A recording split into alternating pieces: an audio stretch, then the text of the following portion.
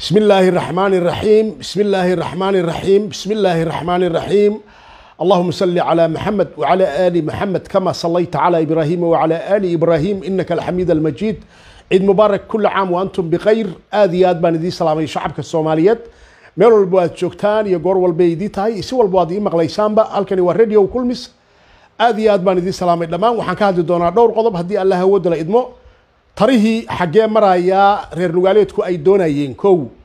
Waxaynu ka hadli doonaa dastuurkii puntland furidiisii dadka aragtidooda ka dhiibtay ee beejka ama emailku ay leeyihiin parliament puntland com dadka fariimaha u diray intee la eg yihiin. Waa labo waxaan kaloo ka hadli doonaa laascaano oo maanta si wanaagsan loogu ciiday laakiin shalay nimankii iidooraha si fiican loogu jabiyey waxaan kaloo ka hadli doonaa islaantii qaali guuleed ahayd islaantii dhashay ikraan tahliil oo iyaduna gabadheedii intay qalatay sannadkii labaad maraysa kuwii ay oran jidhay gabadhaydii bay iisoo dhicinayaan maanta iyagaa xukunka jooga. Maxay gabadheeda meel ugu sheegi waayeen xasan iyo mahad salaad iyo rooblabahana iyo kuwii gabadheeda kuwii iilka dhigtay kii iilka dhigay uu ergootoy gabadheedii maal wax looga qabto soo dhawaada asxaabtayda qaaliga ah meel walba waad joogtaan iyo goor walba idii tahay iyo si walba waad noo maqlaysaanba halkani waa radio culmis runtii waxaan aad iyo aad aad iyo aad ugu hambalyeynayaa shacabka reer puntland shacabka soomaaliyeed waxaan leeyahay ciid mubaarak kulli caam wa antum bikhayr. Aad iyo aad baan idinkugu hambalyeeyey waa ku salaamay aad baan kuu salaamay dhammaanna waa salaamay asxaabtayda qaaliga barnaamijka noo sheergaraya sii gudbiya gaarsiiya asxaabtiina kale si dadku barnaamijka u gaaro. Runtii waxaan arkaynay maalmahan ama waayadanba in la lahaa taraha waxaa iska leh beesha ciise maxamuud taraha puntland ayagaa iska leh ayagaa ku dagaalamaya. Inkastoo shacabka reer puntland ay codeeyeen sideed boqol oo qofood oo ah golo deegaan iyo afar boqol oo kun oo codaysay in toban nin oo ilmo adeera loo afduubo anigu aragtidaasi ma qabo mana ila mana ila saxna. Tarahaasi inuu ceel ku dhacay baan u malaynayaa uusan warkiisa iyo waayihiisu midna joogin. Waxaa kaaga sii daran dadka u codeeyay dastuurka puntland in la furo ayaa iyaguna waxay gaarayaan dad ka badan saddex milyan oo qofood. Oo waxyaabaha galabta isoo geliyey farxadda leh. In saddex milyan oo reer puntland ah ay u codeeyaan in dastuurka la furo ayaduna waa guul weyn. Oo parliament puntland com waa la soo bandhigi doonaa dadka u codeeyey in puntland qodobadaas la furo baarlamaankana lagu daro gobolka casayrla gardafuul oo isaguna gobol laga dhigay bari la kala jaray gobol laga dhigay la ansixiyo in halkaasi iyaduna ay gobol tahay.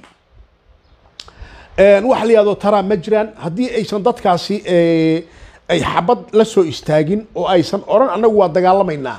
Hadday yidhahdaan waa dagaalamaynaa qori caaradiisaan xukun ku imaanaynaa dee ciddi ka liitay xukumayaan yay xukumayaan. Wixii ka liitay xukumayaan annaga kolabana xukumi maayaan wixii ka liito ama garow ay xukunayaan bay ila tahay. Haddii hadday qori caaradii wax ku doonayaan reer garoway qori caaradii madaxa kaga hayaan ayagu ha xukumaan. Anigu aragtidaasaan qabaa runtii waxaan sidoo kale soo dhaweynayaa dadkii ka codeeyey baarlamaanka puntland emailkiisa dadka ku codeeyey ee ka bixiyey aragtidooda iyo fikirkooda dhiibay dad saddex milyan ku dhowaada ayaa waxay ogolaadeen in baa dastuurka la furo waana soo dhaweynayaa dadkaasi u codeeyey aad iyo aad baan ugu hambalyeenaya anigu dadkii codeeyey baan ka mid ahaa laakiin aragtida saddex milyan oo qofood oo reer puntland ah inay yidhahdaan dastuurka ha la furo waa aragti qurux badan. Waana la soo bandhigi doonaa guddoomiyaha baarlamaanka soo bandhigi doona mar dhow waana ugu hambalyeynaya guddoomiyaha baarlamaanka iyo dhammaan dadka reer puntlandba waxaan leeyahay. Waa guul weyn oo u soo hoyatay shacabka reer puntland iyo shacabka haddii ay ku royay soomaaliyeedba waxaa la diidan yahay waxay tahay in dadkaas codeeyey codkoodii inta jeebka lagu rito aragtidooda la afduubto marka dadka reer puntland way diideen aragtidooda in la afduubto waxayna ka doorbideen in aragtidooda la afduubto inay dhintaan bay ka doorbideen waana ugu hambalyeenaya shacabka reer puntland waxaan leeyahay guulaysta. Dad aragti fog baad ahaydeen. Juxa siduu sheegay wasiir juxa wuxuu yidhi puntland iyo afar wiiloo ilmo adeera baa is haystu yidhi shacabka reer puntland iyo afar wiiloo ilmo adeera is haysta qof walboo caqli u saaxiiba. Wuu garan karaa in dadka intaa la-eg intay codeeyeen. Haddana la yihahdo qori caaradii baan wax ku maamulaynaa. Qof walba oo reer puntland ah wuu garan karaa meesha u socdo.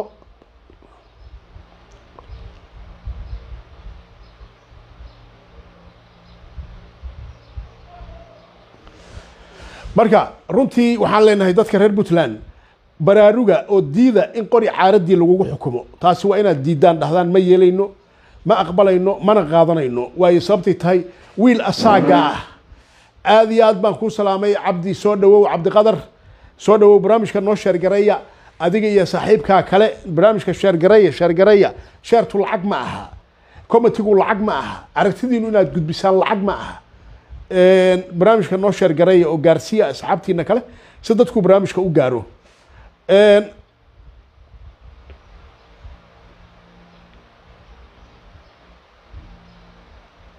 siyaasiga soomaaliga markuu xilka hayo asagaa la raadiyaa. Laakiin markuusan xilka hayn asagaa bulshada doonta. Waxaa tusaale noogu filan xasan shire abgaalow oo maanta sways gacaysa sways gacayte ay garowa ku dhex waraysanayso markuu xilka hayana ciidan buu lahaa ilaalo ah. Maantana asagoo hangool wata baa sways gacaytaa waraysanaysa marka qofka markuu xilka hayo inuu ismoodo inuu cirkii dhulka kala hayo laakiin markii xilka laga qaado waxaad moodaa inuu noqonayo shimbir biyo ku dhacday. Marka runtii way shaqayn weyday go'aankii ahaa taraha mana shaqayn doono tara in wax lagu helo ama xoog in wax lagu helo. Wax shaqaynaya ma aha. Shacabku reer puntland way codeeyeen aragtidoodii bay dhiibteen si saxay aragtidooda u dhiibteen fikirkooda iyo aragtidooday soo bandhigeen toban wiil oo isku reer ah inay afduubaan puntland. U malayn maayo inay dhacayso mana sugayno. Waxaan daawanayay nabadoon cabdulaahi maxamed jibriil oo wuxuu leeyahay waa dagaalamaynaa. Puntland ciidanka aad ku soo guraysa garowe de haddaad ciise maxamuudow dowladnimada ka baxdeen waa ka baxnay dhaha. Annagu dowladnimada shaqo kuma lihin. Ciidanku dalkay u shaqeeyaan dadkay u shaqeeyaan. Nabadoonku waxaan leeyahay shalay wuxuu ahaa ninkii dani u gebyi jiray buu ahaa. Maantayna cadiifad baa qaadatay ciise maxamuud iyo wuxuu kala garan waayey iyo puntland. War puntland iyo qabiilka aad tahay adigoo ku kala socnaadaan. Kuwii shalayna oran jiray bay ahaayeen. Ku dayo ku dayo puntland ku dayo. Nimanka saxaafadda ugu jira ciise maxamuud. Sida dalmar medio garowe online garowe radio haddii lay ku ron yahay ina geelle. Rag badan oo ciise maxamuud oo garowe wax ka soo boostigareeya waxay soo boostigareeyaan inay buunbuuniyaan siyaasiyiinta ciise maxamuud. Ama aragtida siyaasiyiinta beeshooda. Ma aha dad rabitaanka puntland iyo inay puntland sii jirta iyo dad rajo kale ma aha. Marka anigu waagi hore waxaan moodi jiray dad muwaadiniina oo ka shaqeeya aragtida saxda ah. Laakiin hadda markii dhibaatadan ay dhacday oo shaqaaqadan ay dhacday horta sideeduba dadku markii dhib dhacdaa la ysbartaa dadkaasi si fiican baan u bartay. Hadda ma aaminaba anigu badaa xataa ma fiiriya xataa ma garanaysa wallahi baan fiirin iyo bilaahi iyo tollahi ma fiiriya xataa.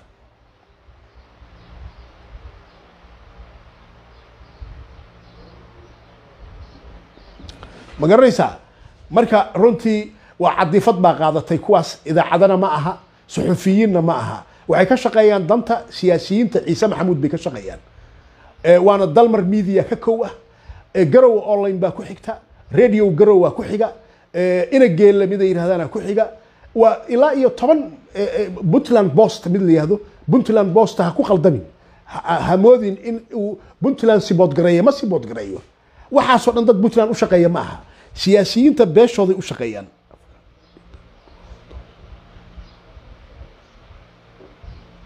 Ma garanaysaa? Marka ha ku kadsoomina saxaafadda beesha ciise maxamuud waa inaan dhahnaa. Saxaafadda suxufiyiinta ciise maxamuud waa inaan ugu yeernaa laannu dadku markay xaaladda adkaataa la kala bartaa. Ma garanaysaa?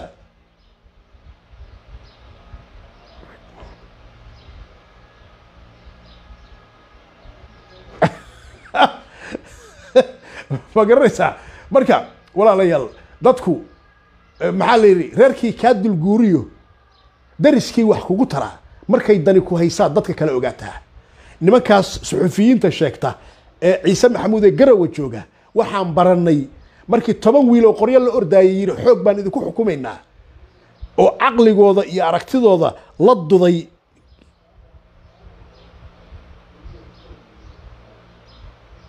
Ma garanaysaa? Dadka aragtidaas qaba.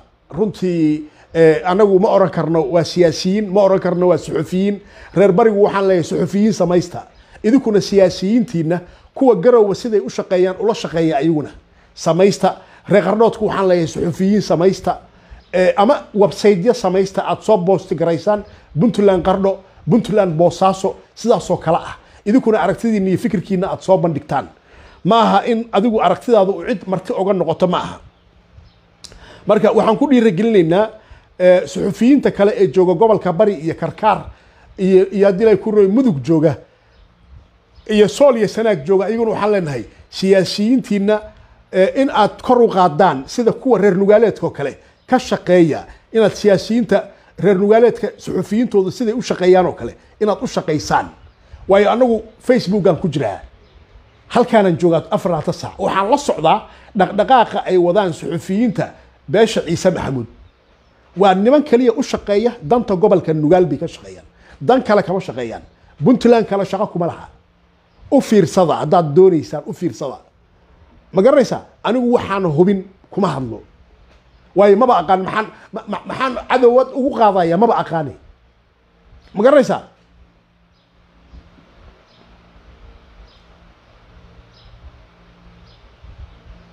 marka annagu geedi caanalaan ku jirnaa reer puntland waxaan ku furaynaa meel raysa ma rabno four pointy five ma rabno lixdan iyo lix cidda lixdan iyo lix rabta iyo qorigaan la ordayaa eh, eh, xilkan qori ku imaanaya xil qori laguma imaan karo reer puntlandna qasab laguma maamuli karo. Dadka reer puntland way hubaysan yihiin. Qabiil walba hub buu haystaa. Haddaad adigu hub haysato aniguna hub baan haystaa. Haddaad adigu doonaysid inaad qori caaradii ku timaado de anigu miyaad igu maamulaysaa qori caaradiisa? Waa maya. Marka taasay noqonaysaa in nin walbaba uu yidhaahdo ana amiir wa anta amiir. Zub lximaar haddaad adigu amiir tahay aniguna amiir baan hayaa maamulaysaa. Marka runtii waxaan leenahay ha laga waantoobo tarahaas iyo waxa lala ordaayo ka waantooba nimankaa ilma adeerada aan nahay reer nugaaleedka waxaan leeyahay ka waantooba waxaa Eh, hati burhanek la imaada inaad ururada ka qayb gashaan dadka aad cod weydiisataan isku daya inaad dadka cod weydiisataan dadka aad rabtaan inaad maamushaan oo aad qoriga ula ordaysaan qori waxba laguma maamulee cod baa wax lagu maamulaa dadka codkiina wax ku weydiista. Xirsi odowaa waa ku maqlaya xirsi adowaa waa ku maqlayaa mawduuc baan ku jiraa isug. Marka walaalayaal runtii waxaanu ka hadlayno waa mustaqbalka boqolka sano soo socda reer puntland. Kontonka sano soo socda baan ka hadlaynaa kama hadlayno tara kama hadlayno. Waxaan ka hadlayno waa mustaqbalka reer puntland ee meel walba uu joogo inaan eh, la jihaadno dadka reer puntland oo aan dhahno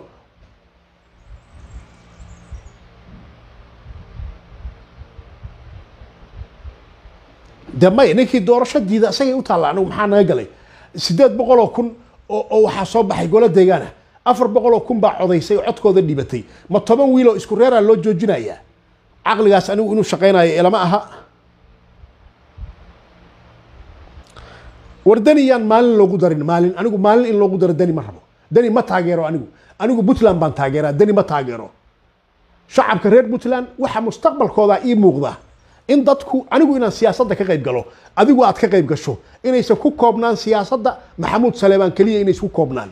Oo adigu siyaasadda aad gasho ayadu ay gasho asagu uu galo anigu aan galo. Waa taas midda aan doonayo sideed boqol oo golo deegaana baa ka qayb galaya siyaasadda waa taas anigu middaan doonayo ma rabo lixdan iyo lix in dib loogu noqdo wiilal yaryar iyo gabdho yaryar shan iyo labaatan jiro soddon jiro siddeed iyo toban jiro labaatan jiro qabiil walba leh baa soo baxay ayagu siyaasaddu ha nagu matalaan ma garanaysaa annagu waa taa midda aan doonayno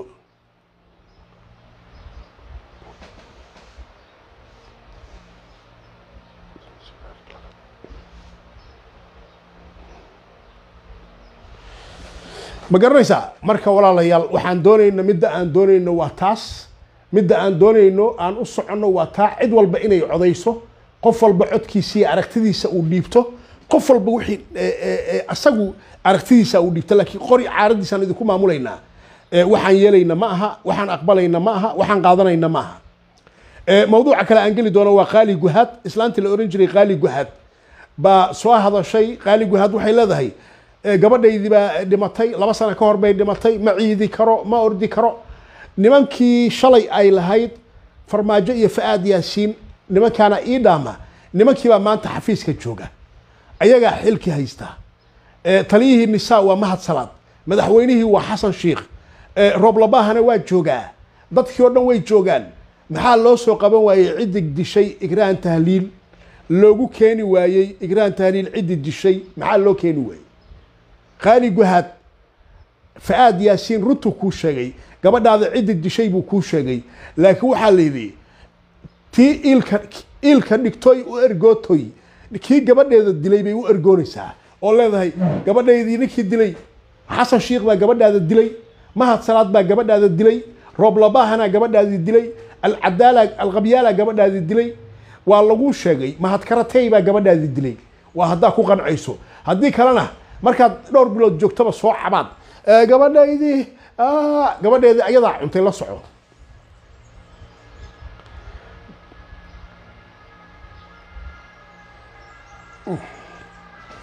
gabadheedii ayadaa cuntay gabadheedii ayadaa qalatay gabadheedii ayadaa qaadatay. Haddii ay run sheegayso hadday run sheegayso dadka maanta xukunka jooga waa kuwii shalay ayada ay u sacbinaysay oo ay lahayd gabadhaydii mahad salaad baa gabadhaydii og. Eh, xasan shiikh baa gabadhaydii og. Halkaasa waxaa lagu soo xirtay camaamado cascas. Ah, madaxaa lagu soo xirtay aaminaa dhimatay. Aaminaa dhimatay aan u oyno. Aaminaa dhimatay aan u oyno. Annagaa oga sokayna xasan shiikhna annagaa oga sokayna mahad salaadna anaa ka xiga. Waayo ayagu kursigay ku yimaadeen. Dantoodu intaasay ahayd. Kursigay ku yimaadeen. Dan kaloo ay ka leeyihiin ma leh maanta xukunkay joogaan. Kursigay fadhiyaan maxay u oran waayeen "Eh, ikraan tahliil baan doonaynaa ciddi dishay. Ikraan tahliil baan cadaaladu doonaynaa xasan sheekh ma ka maqashay. Musuq maasuq buu ka hadlayaa. Tuug baa lacag xaday. Islaam baa daaqad iska turtay shilin ha bixin. Al-shabaab baa lala shaqeeyaa. Muxuu oga hadli waayey ikraan tahliil isagaa dilay. Muxuu ka hadlayaa? Wuxuu ninkuu dilay miyuu ogyahay marka walaalayaal qaali guhaadna waxaan leeyahay meel aysan kaa jirin baad hadda wax ka doonaysaa laakiin u soo noqo meesha ay wax kaa jiraan.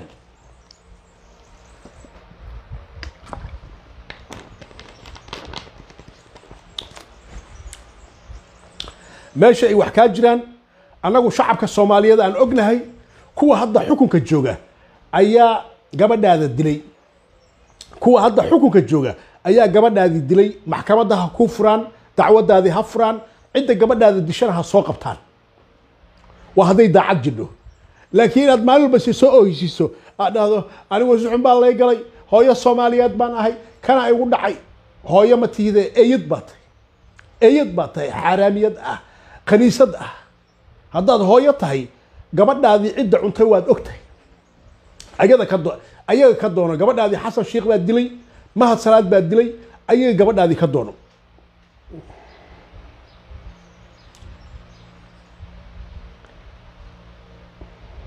cornel cornel cornele waa ku salaamay aad baan kuu salaamay cornele waa ku salaamay soo dhawow aad iyo aad baan kuu salaamay. Marka runtii waxaan leeyahay qaali guhaad gabadhaadii ciddi kaa dishay waad garanaysaa. Ciddi gabadhaada dishay waa xasan iyo kooxdiisa. Ayaga ka doono mahad salaad baa jooga. Ciddi gabadhaada disho waa garanaysaa. Maantay eh, inaad miidiya soo fadhiisata aad dhahdo gabadhaydii eh, hebel baa dilay heblaayaa dishay. Gabadhaada ciddi disho waad og tahay meeshay ku maqan tahay waad og tahay adigaa la doonaya inaad gabadhaadii doonato laakiin anigu waxay igula eg tahay inay gabadheedii cuntay ayada cuntay. Gabadheedii ayadaa cuntay kaambeen bay ku gashay waa la dilay mahad karatay baa dilay mahad salaad baa dilay xasan shiikh baa dilay alqabyaalaa dilay way og tahay sambalolshaa dilay. Gabadhaada doono dadka hadda xukunka jooga ka doono annagu maalin walbaba halkaan cabaad ha noola soo fadhiisan. Wax cabaado halkaan aad noola soo fadhiisan karto ma jirto waa ku ognahay qaa'imad baa tahay. Ninka digfer hees wuxuu qaaday. Naag wuxuu qabay madhasho ah buu qabay. Oo aan dhalayn. Marka ninka abwaanka ah heesta sameeyey baa heesta wuxuu nin curyaanu ahaa. Nin curyaana oo mareexaanu ahaa. Wuxuu guursaday naag aan dhalayn. Marka ninkii waa wuxuu yidhi go'ay maadigaan dhalin buu yidhi. Maxaa goonni kaa dhigay? Ma markaad gaajootaad garabba maalin dubataa. Saddex biloodna waa walac saddex biloodna waa xaamilo saddex biloodna ilmihii baa ka dhintay. Saasay ugu sheekaysaa. Ma garanaysaa? Saddex biloodna waa walac waxay leedahay walac baan ahay. Buskeeti ii keen baradha ii keen kan ii keen saddexda biloodoo walaca markii la dhaafo. Bay haddana saddex biloodoo xaamilay gashaa. Xaamilo markay gashay dhaad iswaasho dahab ii gad maseertir igu samey kan igu samey saddexda biloodoo ninka ilmaha uu sugayey bay waxay dhahdaa ilmihii waa tageen ma garatay marka go'ay maadigaan dhalin maxaa gooni kaa dhigay. Sanad walba uur bay leedahay mana dhasho. Mana dhasho la soco. Sanad walba uur bay leedahay. Marka qaali guhaad maalin walba halkaasi soo fadhida waxay leedahay gabadhaydii gabadhaydii gabadhaydii war gabadhaada cidda dishay waad ogta ciddii gabadhaada dishay ka doono. Annagu maalinba hanagu soo dul wareegin hana odhan gabar baa dhashay iyo kanaa dhasha iimaanka alla kaa qaad baan leenahay qaali guhaad iimaanka alla kaa qaad iimaanka irsaaqada alla kaa qaad. Gabadhaas adaa cunay gabadhaadii baad cuntay waa ku gorgortantay nairobi baad degan tahay sharmuuta sharmuuta dhashay. Annagu mar dambe meesha hanoo imaan hanala hadlin. Qaali guhaad intaasaan kaga baxaya waxaan ku soo noqon doonaa xasan dhiiqo oo wuxuu leeyahay annagu qabiil baan ka hadlaynaa. Qabiil baan ka hadlaynaa qabiil. Xasan baa wuxuu ka sheekeynayaa qabiil iyo qabyaalad xasan markuu farmaajo joogay wuxuu noqday nabadoon mudulood buu noqday. Meel laygu yimid oo lagu shiraayey ma garanaysaa? Meel laysugu yimid oo lagu shiraayey oo public ahayd oo mudulood oo dhan ay isugu yimaadeen halkaasuu ka hadlayay. Waad maqasheen ila tahay isagoo leh ina adeerow ina hebelow ina kanow ina kanow. Haddaad maqasho yiri tollo ayay. Ina kanow shalay markuu xasan tollo ayay lahaa uu lahaa saadaq joona saaka ka baxay qadarow dhiiqada ka bax hebelow dhiiqada ka bax xataa odawaayo haddaad gurigaaga gasho ma lagaaga harayo macnaheedu maxay ahayd? Isku qabiil baan nahay saadaq john maanta wuu ka baxay laakiin adigu daarood baa u shaqaysaa. Marka ninkii sidaas lahaa baa maanta wuxuuna leeyahay qabiil baan soo afjarnay qabiil baan iska daynay qabiil baan meel saarnay. Marka boqol iyo toban iyo afartan aqaanaa yaa kaa aaminaya annagu ma aaminaynaa ma aaminayno laannu beentaadii hore baa runtaadii dambe baasu ah soomaali baa tiri anigu ma odhan beentaadii hore ninkii ahaa cigaal shidaad fulayna wuu ahaa beellowna wuu ahaa maalin walba wuxuu yidhahdaa col baa soo galay qayluu afka furtaa dadkii maalinkii dambe iyadoo col run u soo galay oo magaaladii col soo galay baa cigaal shidaad qaylo ku dhuftay yidhi colaa soo galay tolla ayay kacoy cigaal shidaad waa ninkii baa linaga daayay beentiisa. Dadkii magaalada lagu laayay eber halkaasay ka timid beentaadii hore runtaada dambe ayay u tahay baas. Xasan oo maanta ka hadlaya qabyaalad shalayna shirkii mudulood go'aaminayey oo asaga isugu yeeray gogol u dhigay oo laga qudbeynaya la leeyahay wiilka annaga mudulood ah ee rabadaarood inuu u shaqeeyo. Waatan khudbaddu waa soo dayn karaa waa kanaa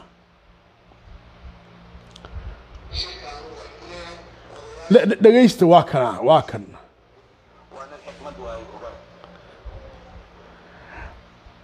Waa kan annagu xasan been ma ka sheegayno xasan waxaa halkan yaalla wuxuu asagu ka shaqeeyeyba halkan yaalla. Ma aha annagu waxaan ka shaqeynayno.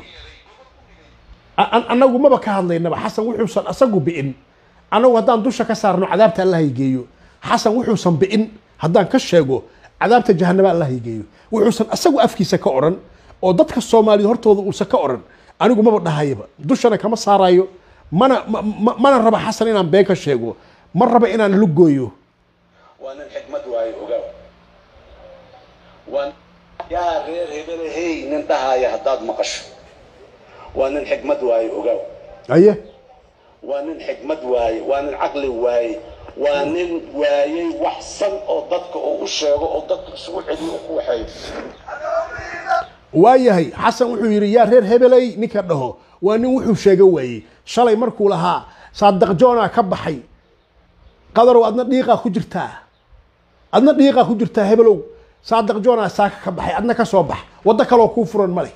Markuu lahaa af qabiil miyuu ku hadlaayey mise af shacab soomaaliyeed buu ku hadlaayey waa munaafaq ay ay dhalay ah. Waa kan asagoo mudulood la shiraaya oo shirib uu dhacayo halkan waa taasaa dhegaysta uu u sheego oo dadka isugu celiyo u ku waxeeyo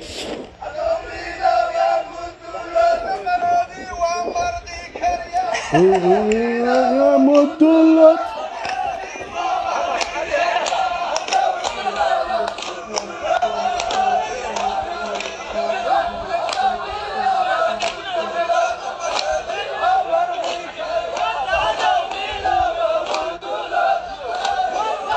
hadduu madoobo mudulood maroodi waa jeexi karaa. Maanta waa isu timaadeen waa joogtiin magacaas wada tashiga aad ku joogtiin. Qof kasta oo adiga ina ka mida waa muxtarib shirkaanoo wax ku leeyahay odayaasheeniyo salafta badnaado imaamka hogaaminaya waa noo joogaan. Waxaan rabnaa dadkaani inay idan tashadaan. Waryaa dole hey dadkaa lagu kala geeyaa ee dadka layskuma keeno dad asagu tolkiisuu la tashanaya yaa tolla ayay buu leeyahay. Hadda meeshuu hadalka u wado waa laascaano uu leeyahay laascaano waxa ka socda sax ma aha. Tolla ayay in la yidhaahdo oo laysku habar yeerto laascaano waxa ka socda waa qalad. Asagoo qancinaya muuse biixi iyo ismaaciil cumar geelle asagoo qancinaya oo leh wiilashaa tolla ayay leh ee daaroodka ah ee tolla ayayna dagaalka laascaano ka socda waxa lagu soo duulay waa annaga oo irir samaale ah ma garanaysaa maadaama irir samaale annagu aan nahay annagu aan isdifaacno halkaasay maanta maraysaa oo xasan iyo kooxdiisu ay ka maraysaa in daarood nacayb loo baahiyo ee caalamkao dhan la gaarsiiyo.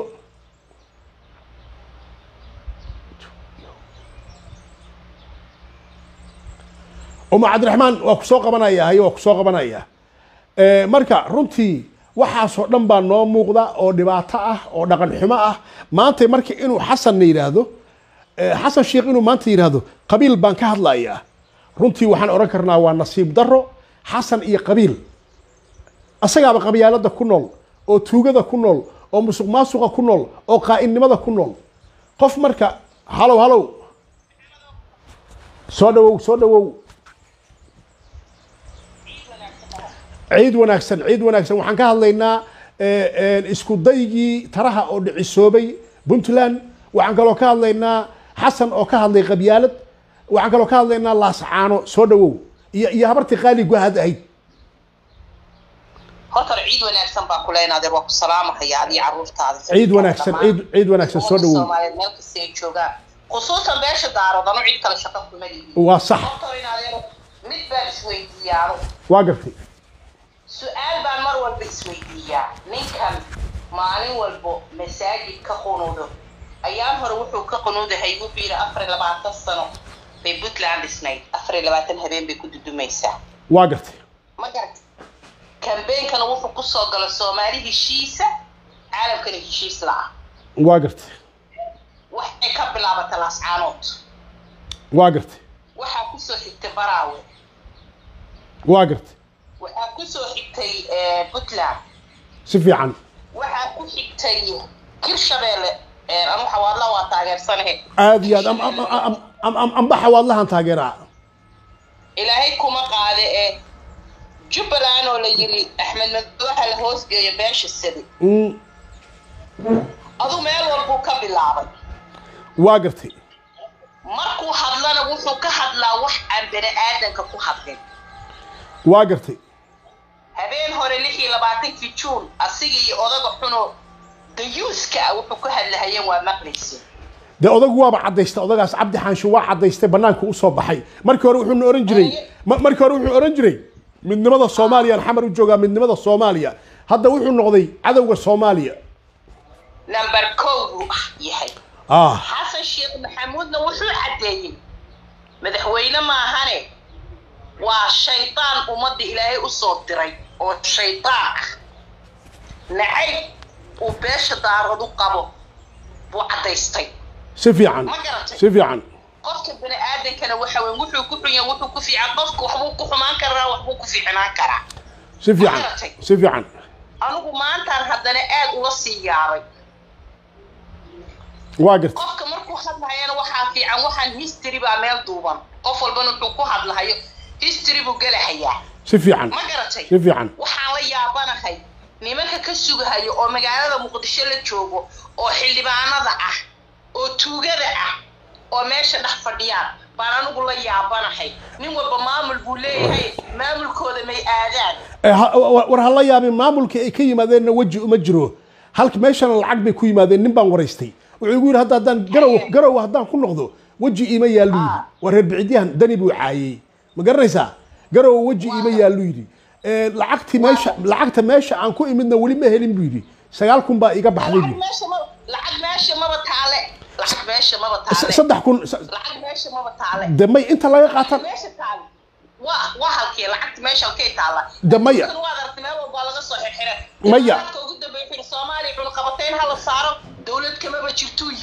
Waa ogahay waa ogahay laakiin mushaarka ay qaataan waa dayn soomaaliya lagu qoraa. Un-taa bixisa yu- qaaradda yurubaa bixisa. La- lacagta ha dayn wey an- annagay nagu qoran tahay dayn wey lacagta ay qaataan. Mushaar dowladdu ay siisamaa waa dayn golaha sare shacabka kan sare wasiirada lacagta ay qaataan. Miisaaniyadda lagu kabayo dowladdu maxay tahay? Waa dayn miisaaniyaddaas. Xaggee ka keennaa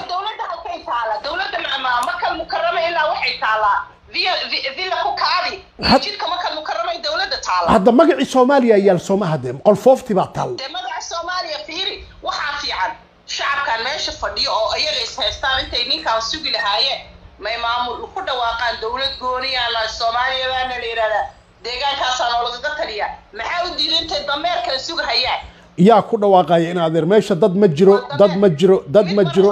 meeshuu soo fariistay marxuum xamse la yidhaahdo meeshuu u fadhiyaa four pointy five beesha daarood buu matelaa aniga iima matelo calooshiisuu matelaa iyo familkiisa iyo naagtiisa iyo wa- waxaaba loo keenay adiga in lagugu bahdilo soo ma waxa loo aha.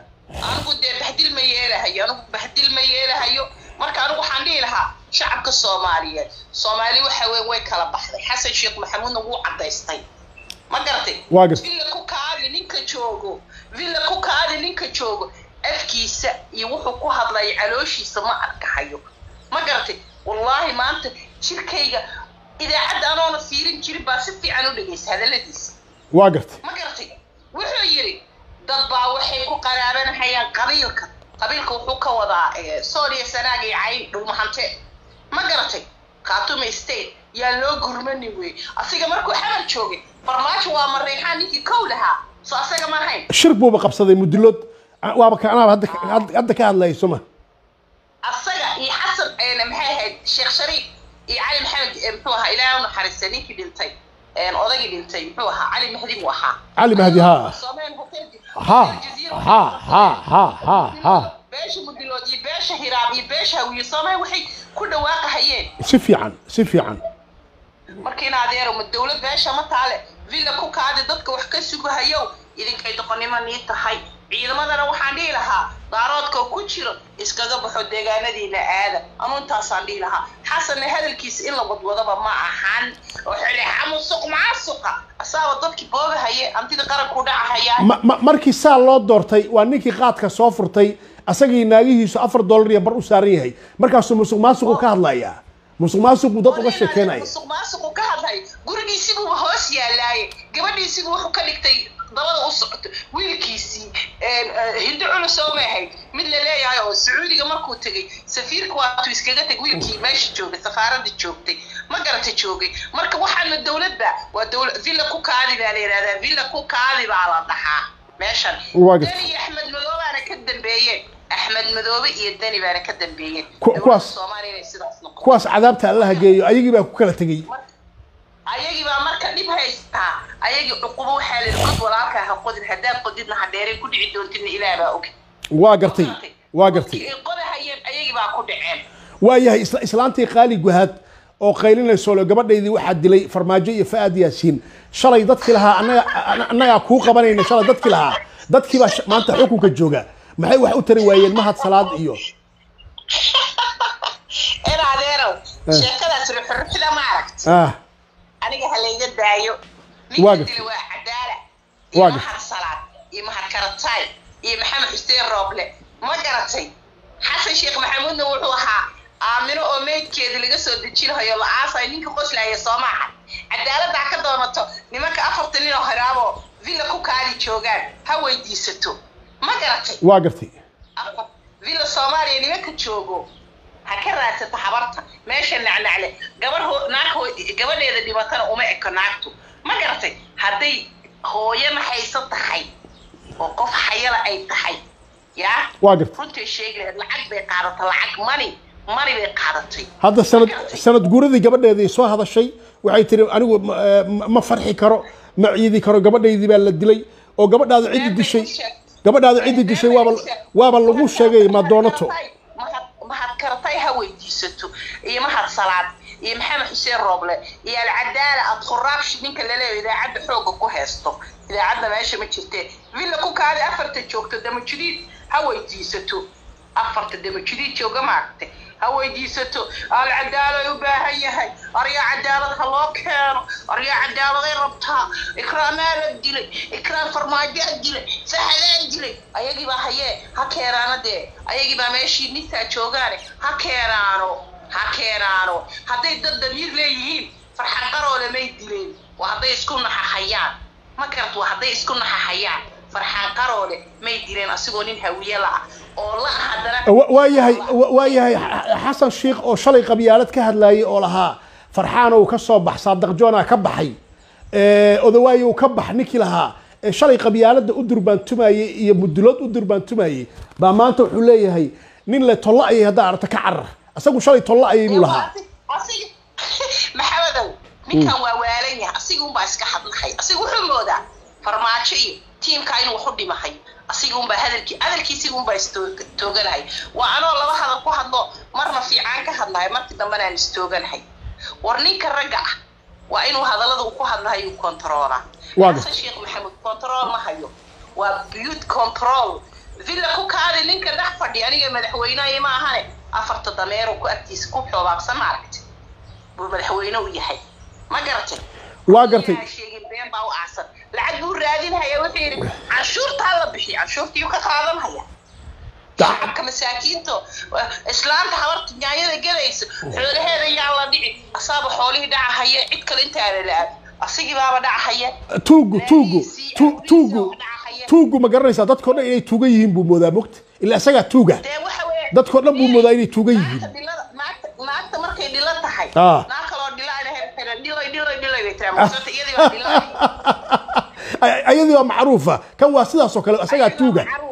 Asagii waa tuug. marka asagii baa tuug maanta dhan ku wada. Xoolaa dadka yaa la dhici. Inta yaa la yeeli musuq maasuq aryaha la soo qabto. Aryaa qoorta ha la keeno.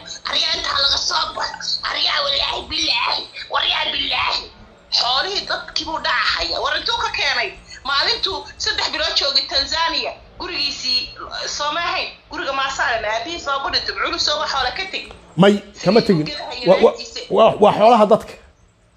Xoolaha dadka de in adeerow anigu ilaahay waxaan ka tuugaya maanta waa maalin iyadoo farxadda.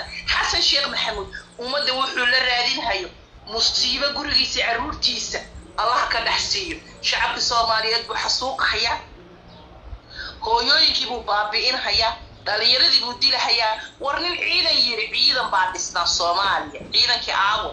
Ciidan ma jiro ciidan ma jiro. Ma jiro. inta hala baxo. Macallin maxay ahayd meeshii xumayda abgaalka deganayd ii sheeg oo oo oo oo kondhobyadii balaayada laga helahay tuulooyinkaasay galaan. Waa Ii gar- sheeg magaceeda Eh, eh, masaajid cali guduud. Ah. ahey masaajid cali guduud. Waxaa ku dhintay ciidan wiilal soomaali qabiil kala ah. Ma garat Waa gar- Dacwastee dagaalamaysa Waa waa ninka hadda ninkii xawaadle oo ninkaas ka xoreeyay hiiraan nimankii ars al-shabaab ahaa. Waayahay wa- waayahay re- re- reer Hi- reer hiiraan madaxweyney samaysteen. Caas waxay dhisanayaan madaxtooyo. Adigu see u aragtaa madaxweynaha ay samaysteen? War waa waa u hambalyeynhaya war hore u socdaan leeyahay. Waa gartay. Anigu hore u socdaan leeyahay.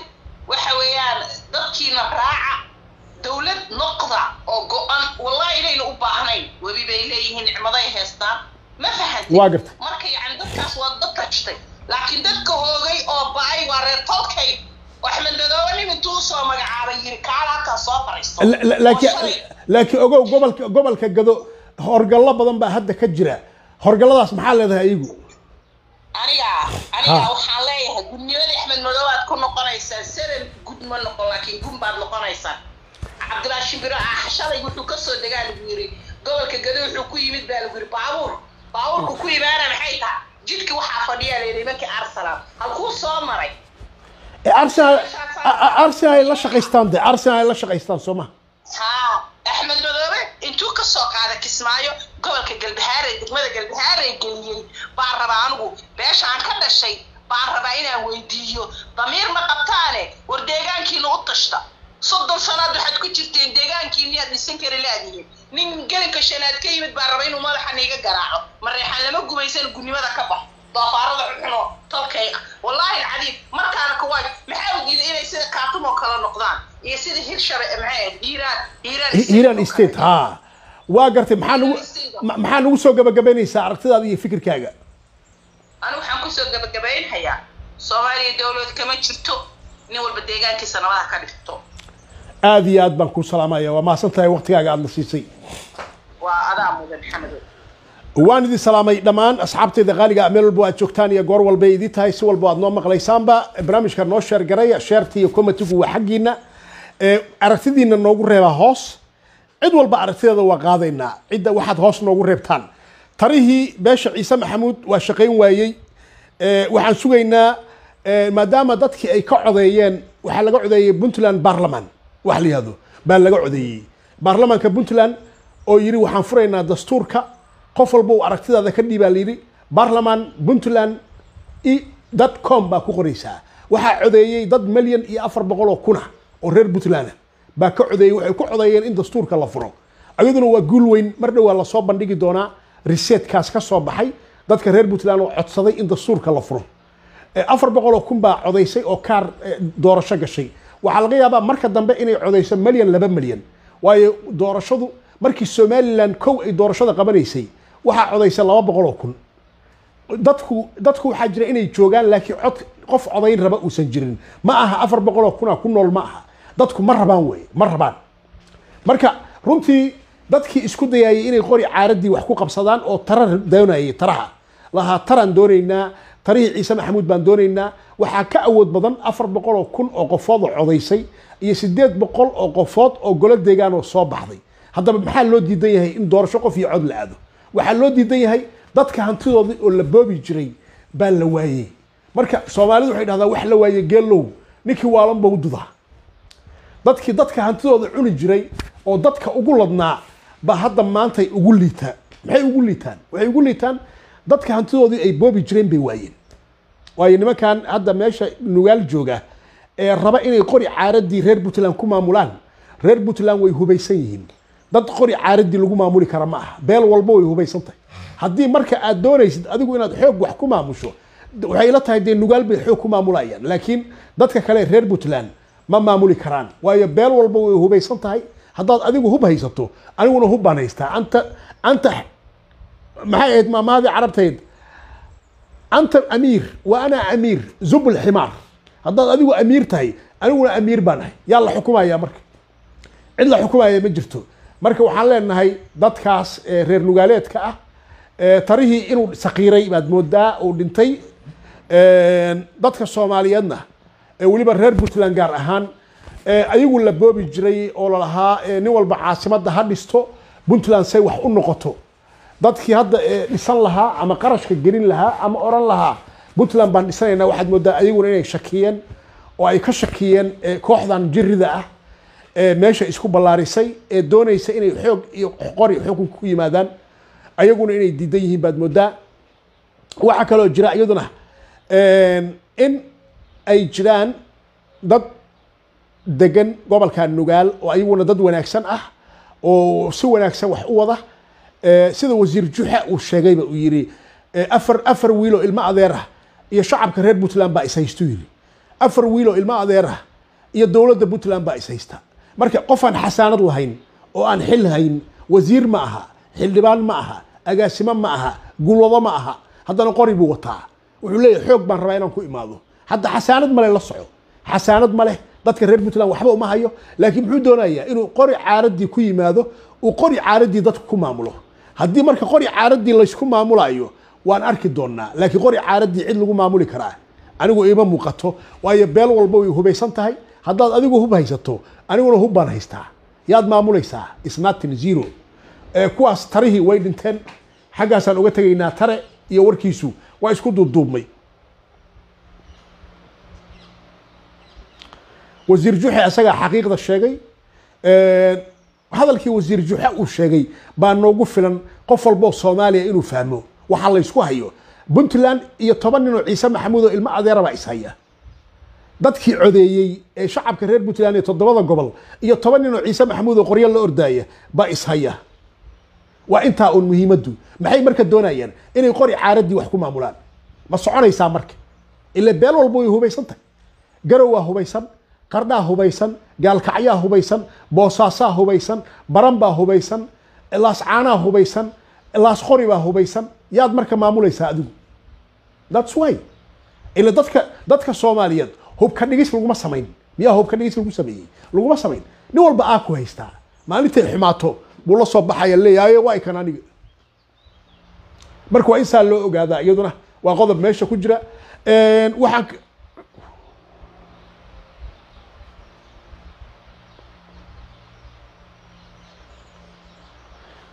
waxaan kaloo aad iyo aad ugu celin doonaa allah awoodda leh hadduu idmo. In dadka soomaaliyeed ay u diyaar garoobaan ayagu waxa ay leeyihiin. Adigu waxaad leedahay u diyaar garoow inaad qof wuxuu leeyahay ha u diyaar garoobin. Eh, xasan waa maqlaysaa wuxuu ku waashay eh, ninkii xasan dhiiqa ahaa. Eh, wuxuu ku waashay musuq maasuq baan la dirirayaa xaggaan la dirirayaa intaan ka dhacaya musuq maasuq iyuu la diriraya ciduu la diriraya ma jirto. Waxaan daawaday ninkii ahaa axmed ciise cawad oo asaguna wasiirkii hore arrimaha dibadda oo waxaan daawaday wuxuu leeyahay catoosh baan hal malyan gaaray. Nin waa dadka raba inay puntland maamulaan.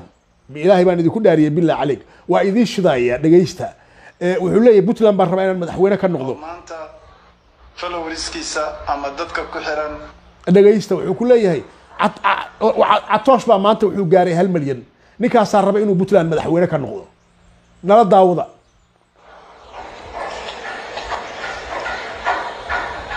anigoo ah axmed ciise cawad wasiirka arrimaha dibadda ee dowladda federaalka soomaaliya. Waxaan hambalyo u dirayaa cabdirasaaq xaaji catoosh oo maanta followerskiisa ama dadka ku xiran eh, oo la socda kala socda bogga boggiisa facebooka ay gaareen hal milyan.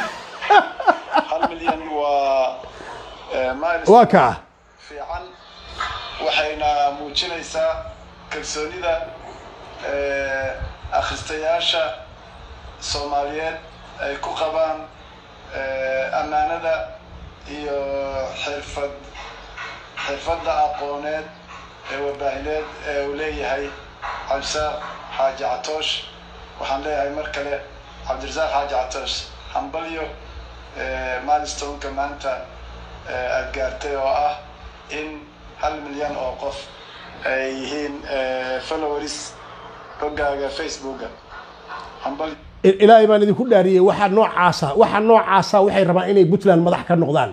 Ninka eh, intuu public soo fariista wuxuu leeyahay catoosh baa hal malyan gaaraan u hambalyanaya oo adigu catoosh maxaa kaa galay? Ma catoosh baa adiga lagu yidhaahdaa? Adigu maa bej samaysato? Haddaad cid intaad cid u hambalyeyn lahayd adigu ma isu hambalyeyso bej samaysato? Doqonnimada meesha uu ka gaaray ma garanaysaa? Uu weliba wuxuu ku leeyahy waxaan rabaa inaan puntland maamulo oo aan madaxweyne ka noqdo.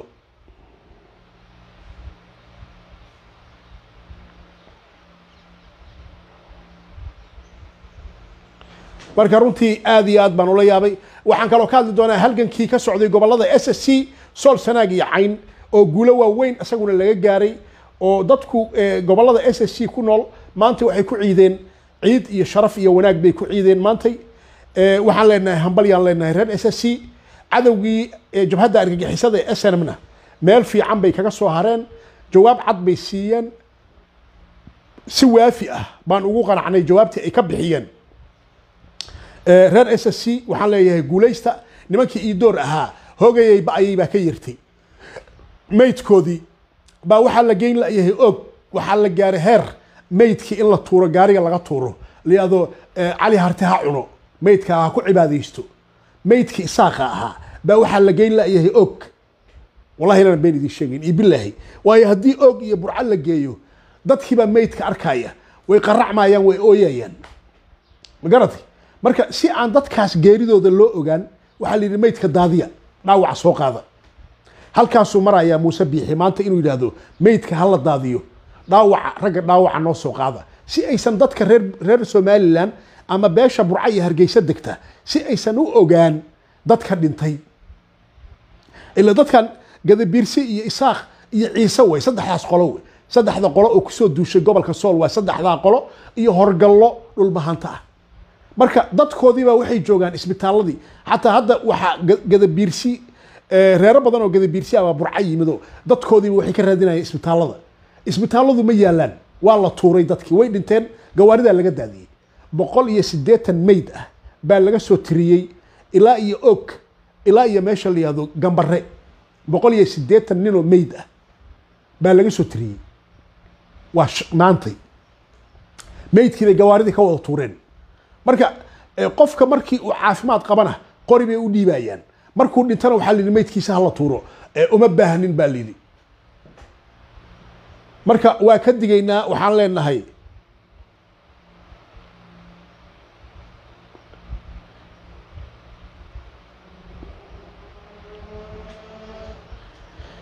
waa ku salaamay muhiim aad baan kuu salaamay muhiim aad baan kuu salaamay. Soo dhawow.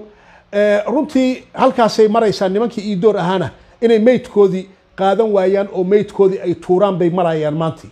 Marka waxaan leenahay iidoorow wiilasha aad soo qaadaysaan oo aad keenaysaan eh, goddameerkii hadhowna aad ka cararaysaan. Wiilashaa dad baa dhalay iidoorow ha ka cararina. Wiilasha haddaydan qaadan karin ha soo lugoonina. Ma garatay haddaydan qaadan karin ha soo lugoonina wiilasha dadkii dhalay u daaya taasaan leeyahay. Nimanka iidoor layada taasaan leeyahay.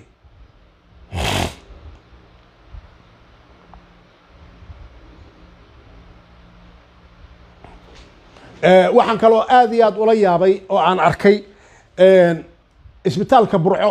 Dad badan oo ooyaya oo waxay leeyihiin eh, tolla ayey waa go'nayey isu soo baxoy.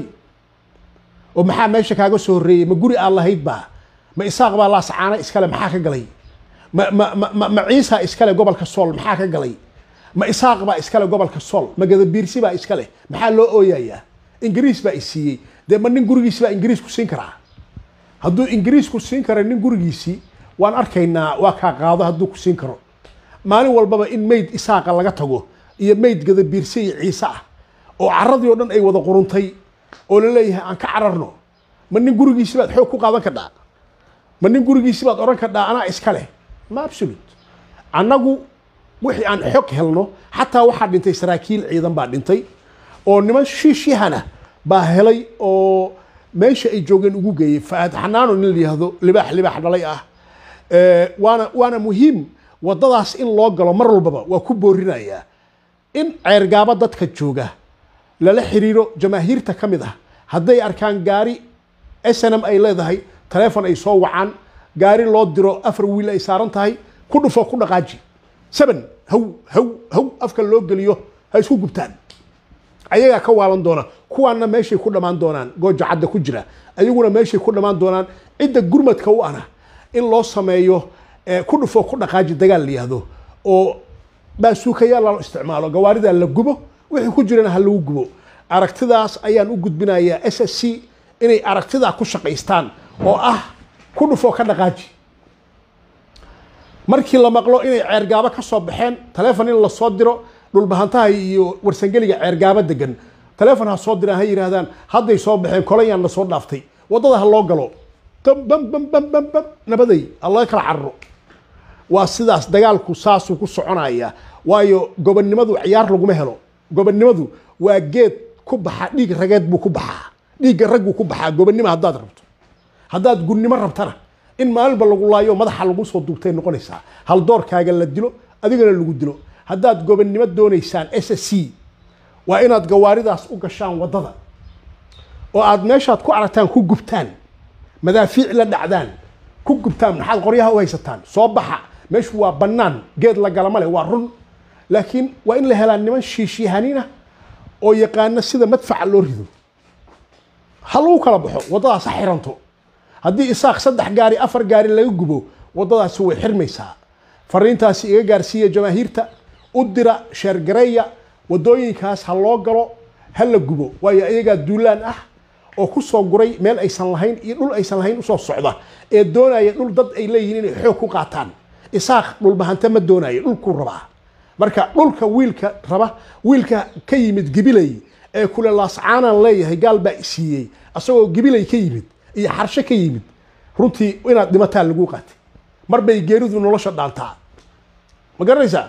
Inaad dhimataan dhulbahantow baa idinku waajib ah. Wiilka gibilay ka yimid intuu ku dhihi lahaa "Eh, aniga anigaa wax liga weydiinaya gobolka sool marka gobonnimadu waxay ku baxdaa geed rageed geed dhiiga. Dhiigga dhiiggaa lagu waraabiyaa. Gobonnimo waxa la yihahdo dhiig baa lagu waraabiyaa. Dhiig rag iyo dumarba geedka gobonnimada ku baxa geedkaas baa hadhow la harsadaa? Siday isaaqu burco iyo hargeysa u dhisteen haddaad doonaysaa inaad sool iyo sanaag u dhisataan iyo cayn waa in kun qofood ku dhimataa kun. Kadibna mustaqbalka dadka nool ay nabad ku noolaadaan. Tobanka sanoo soo socda labaatanka sanoo soo socda laba kun qofood ha u dhimato. In la xoreeyo gobollada s s c kun nin ha u dhimato. Anigu diyaar baanu ahay kun haddii u dhimanayso. Si xo- xornimad iyo gobonnimo loo gaaro taasaan ku boorinayaa reer s s c gobonnimada inaad ku noolaataan oo aad nolol wanaagsan ku noolaataan si aad sharaf iyo milge mustaqbalka ugu noolaataan. Nin walba wuu soo jabhadeeyey ee isaaq oo dhan waa wada mujaahidiin wataad aragtay. Mujaahid hebel mujaahid hebel maxay mujaahid ku wada yihiin? Waxay mujaahid ku wada yihiin hal qadiyad bay ku wada socdaan oo ah in isaaq laan la yidhaahdo adigu marka maxaad mujaahidiintaada maxaad diiday? Hadduu ninka isaaqa mujaahid yahay adigu ma shimbir baa tahay. May adiguna waa inaad mujaahid kale noqotaa u dhimataa dhiigga u shubtaa.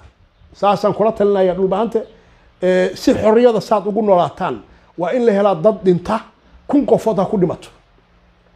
Laakiin mustaqbalka waxaan idiin hubaa inaad gobonnimo ku noolaan doontaan mustaqbalka dhow iyo kan shaba. Gobonnimaad ku noolaan doontaan laakiin markii aad dhahdo waa baqaya waa lagu addoonsanayaa waa lagu dullaysanayaa dulli baa lagaa dhiganaya. Dullinimo haddaad ku noolaatana waxaa kuu dhaanta adoo diracnimo ku dhinta. Dadka laascaano ku dhinta waa dad jihaadaya naftooda iyo maalkooda iyo gurigoodii ku jihaadayaan. Inay isqarxiyaan inay miinooyin isku xidhaan xaq bay u leeyihiin. Waayo guryahoodii bay difaacayaan. Naftaada iyo maalkaaga iyo ehelkaaga iyo cirdigaaga iyo sharafkaaga ciddi kugu timaada xaq baad waxaad u leedahay inaad ku jihaado diintaa fartay axa- axaadiista rasu- rasuulkaa nafaraysa diintaa nafaraysa waxaa lagugu haysto waa gurigaagii waxaa lagugu haysto waa gabdhahaagii waxaa lagugu haysto waa xilahaagii mooradaadii maalkaagii baa lagugu haystaa inaad dhimato baa lagu qaatay. Kun dhulbahantaha ha dhintaan. Mustaqbalka dhulbahantaha dambe xorriyad ha ku noolaado taas weeye walaalayaal laascaano nin walba oo daarooda ama gobollada s c nin walba oo daarooday u taallaa ma garanaysaa? In si gobonnimada dadka ay u noolaadaan shan iyo toban sana la laynayay haldoorkoodii iyo dadkoodii sharafta lahaa fifteen year baa dhulka lagu jiiday raggoodii sharafta lahaa iyo dumarkoodii sharafta lahaa.